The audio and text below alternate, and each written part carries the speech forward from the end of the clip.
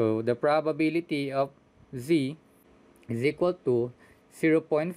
Ito yung area na yan. Plus yung red area natin, 0.2734. And the probability now is equal to...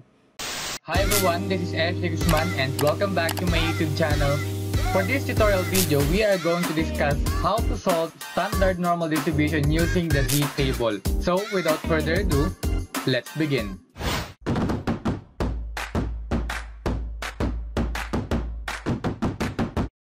The most important continuous probability distribution in the entire field of statistics is the normal distribution. It is often referred to as the Gaussian distribution. So, yung Gaussian distribution in honor of Carl Friedrich Gauss, who also derived the equation from his study of errors in repeated measurements of the same quantity. Its graph called the normal curve and it is a bell-shaped curve which approximately describes many phenomena that occur in nature, industry, and in research. So, ito yung kanyang graph for normal distribution. So, yung continuous random variable, say x, having the bell-shaped distribution like this curve, eh tinatawag natin na normal random variable. So, yung mathematical equation for the probability distribution of the normal variable depends on the two parameters, yung mean and yung standard deviation. The density of the normal random variable x with mean and the variance is with this equation. So, this is the equation for the normal distribution. And under normal distribution, meron tayong tinatawag na standard normal distribution. Paano ba natin masasabi na yung normal distribution ay standard? Standard normal distribution is a distribution of a normal random variable with mean equal to 0 and yung variance naman is 1. So, ganun ang tatandaan natin kapag ka yung mean na given is 0 and yung variance is equal to 1, ibig sabihin siya ay standard. So, in solving probabilities for standard normal distribution, gumagamit tayo ng tinatawag na standard normal table or mas familiar sa tawag na z-table. And yung probability na hinahanap natin in normal distribution is equivalent dun sa areas under the normal curve with a different mean and variance. So, gagawin natin kapag pagka ganun, so ang gagawin natin for that situation, we convert to standard units and gagamitin nga natin yung z-table. So, this is our z-table. Dito natin kukuhanin yung mga equivalent values na ibibigay sa atin sa problem na value ng z natin. So, itong table na to provides areas in the left-hand tail of the curve for values ng z. Other areas can be calculated by subtraction. And we should remember that ang area natin under that curve is equal to 1. Example number 1. Find the area under the normal curve to the left of z equals 0.47. Para mas ma-visualize natin yung normal distribution, i-draw muna natin yung normal curve. Ito yung ating mean which is equal to 0 since nasa standard normal distribution tayo. And ilolocate natin nasan ba yung z na yan na 0.47.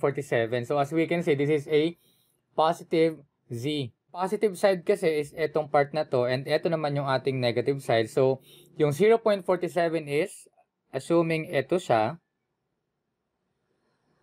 After nating ma-draw yung figure, according to the problem, ang required kasi sa atin is yung area under the normal curve to the left of z. So, ito yung ating given na z. And ang left niya, of course, is lahat ng ito. So, to solve for the area, kailangan alam muna natin yung equivalent area value ng 0.47 na z na given sa atin. So, using the z table, so we have 0.47. Paano ba natin nahanapin yung exact value for 0.47? So, ang 0.4 natin is etong part na to. And we have 7. So, yung 7 natin is etong part na to. So, intersection nila ang ilolocate natin. So, from here, eto siya. And eto. That means, ang area value ng 0.47 is equal to 0.1808. Nasaan ba yung 0.1808 na yan? Magsa-start siya, lahat ng area sa normal curve na manggagaling sa z-table ay magsa-start dun sa mean natin dito sa gitna. So, ibig sabihin, yung 0.1808 na area is ito. Itong part na to. Kaya lang, ang question is, ano daw ba yung area to the left of Z? So, ibig sabihin, meron na tayong alam na area which is 0.1808 and kailangan na lang natin is yung area ng part na to. And remember, ang area ng buong normal curve, ito, from here hanggang dito, since this is infinity and this is negative infinity, ang area ng buo na yan is equal to 1. Ibig sabihin, yung kalahati, since nasa gitna yung ating mean, na 0, this is 0.5. So, pag isinolve na natin yung area, simply ang gagawin lang natin is, we will add the area of 0.5 nitong kalahati, ito, plus dito sa area ng 0.47 which is 0.1808. So, the area is equal to 0.5 yung area ng kalahati ng normal curve plus yung 0.1808. So, the area now is equal to 0.6808. So, this is the answer for example number 1. Example number 2, find the area under the normal curve to the right of z equals positive 1.38. Draw muna ulit natin yung normal curve. And ang mean natin is ito, nasa gitna ulit, which is equal to 0. I-locate muna natin kung nasan yung z. So, nasa positive side, ito yung positive side of course, and ito yung negative side. 1.38, say, nandito siya sa part na to, 1.38. Ang tinatanong na area is yung nasa kanan or nasa right ng z natin, which is etong part na to.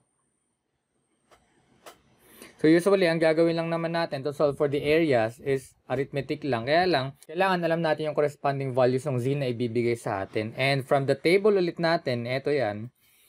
Asan ba yung 1.38? So, eto yung z natin. This is 1.3. And ang 8 natin is eto. So, yung intersection nila, 1.38. From here, hanggang dito, and eto siya. Ibig sabihin, ito ang kanilang intersection. The value, the equivalent value na area for z natin na 1.38 is 0.4162. Ang tinatanong sa atin is yung area to the right ng z na yun. Ito.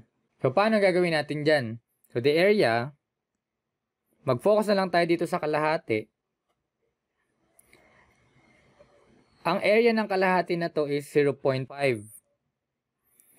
And ang value ng 1.38 natin is 0.4162 coming from the mean natin na 0. Ito. So, itong part na to ay equal sa 0.4162. So, paano natin malalaman yung part na to? Isa-subtract natin yung 0.4162 sa 0.5. And the area now is equal to 0.0838. So this is the area for this given problem and this is example number 2. Example number 3. Find the area under the normal curve between z equals 0.71 and z equals 1.28. So, sa problem na to, dalawa na yung given sa atin na z. Para mas ma-visualize natin, i-draw natin yung figure. Ayan yung ating normal curve and ito yung ating mean na 0. Start tayo sa positive 0.71. Say, ito siya. 0.71. And yung positive 1.28. Between 0.71 and 1.28 ang area na required sa atin. So, ito siya. Kaya lang, paano natin isa-solve yan? Again, using the z-table. So, ang value for 0.71, ito yung ating 0.7, and ito yung ating 1. So, 0.71 is 0.2612. Yung area na yan is, say, itong mean ulit natin, and ito yung 0.71. Ito yung, ito yung area na yan, 0.2612. Next, for the 1.28 na value, ito yung ating 1.2 and ito yung 8. So, we have 0.3997.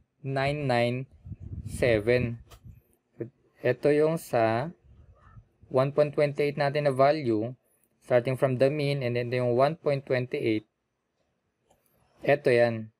Ito yung area na 0.3997. Kaya lang, ang tinatanong lang sa atin is yung in between. Ito. To solve for that, pwedeng subtraction na lang ang gawin natin. Yung area ng 1.28 minus the area of 0.71. And ito yung matitira nga dun. So the area is equal to 0.3997 minus 0.2612.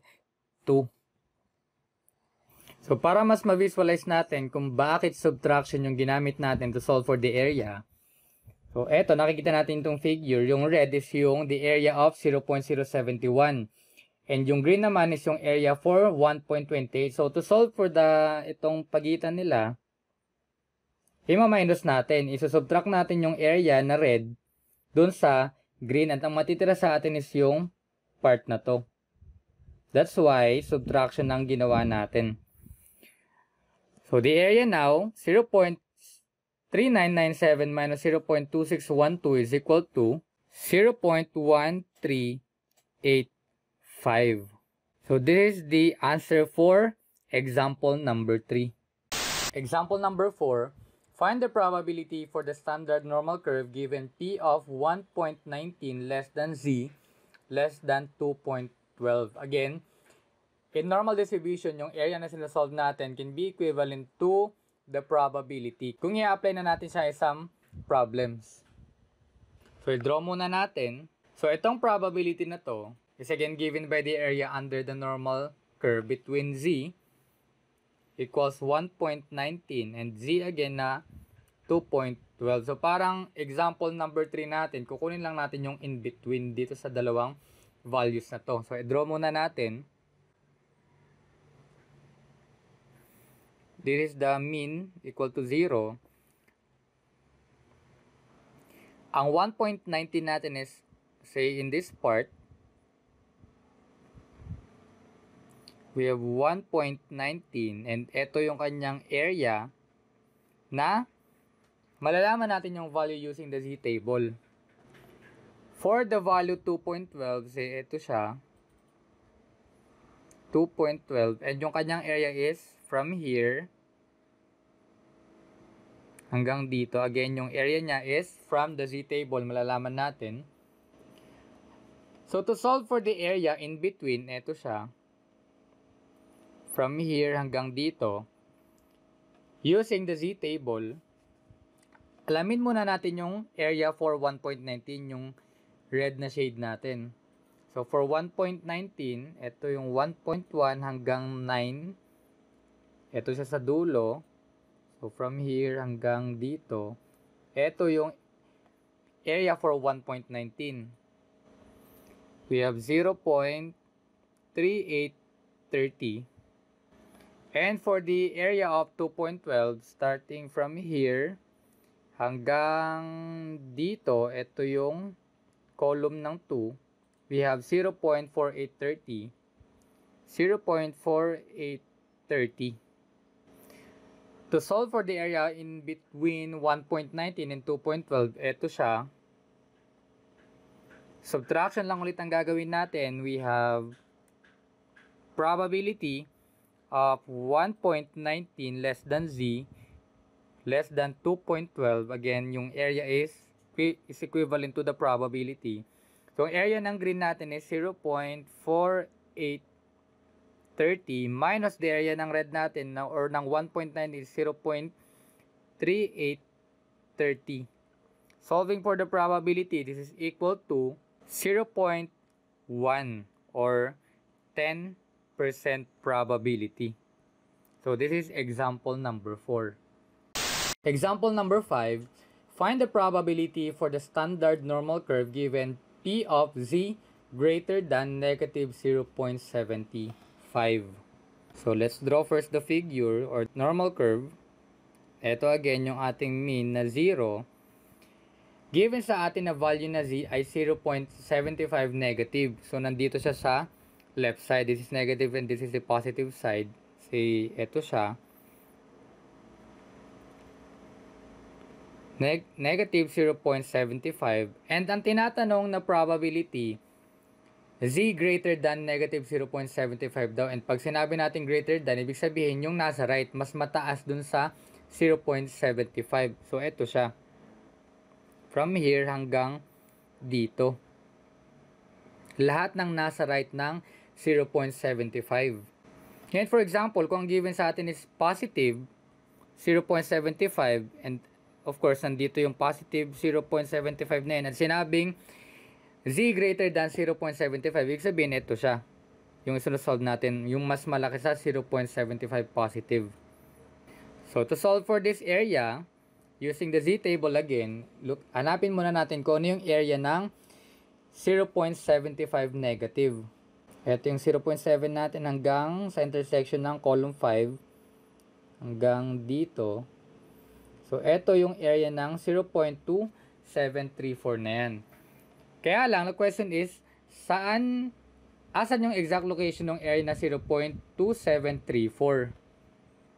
Take note, mapang-positive or negative yung value ng z na ibibigay sa atin, yung area niya is manggagaling pa din dun sa mean natin na 0. Ibig sabihin, yung area ng 0.75 negative na 2 point, ito, 2.7, 0.2734 is from here hanggang dito. Ito yung area na 0.2734. Kaya lang, ang sinasolve natin is yung area from here hanggang dito.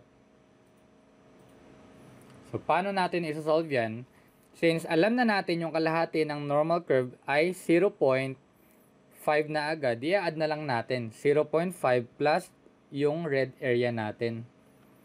So, the probability of z is equal to 0.5, ito yung area na yan, plus yung red area natin, 0.2734, and the probability now is equal to 0.773 or we have 77.34% probability. So this is the answer for example number 5.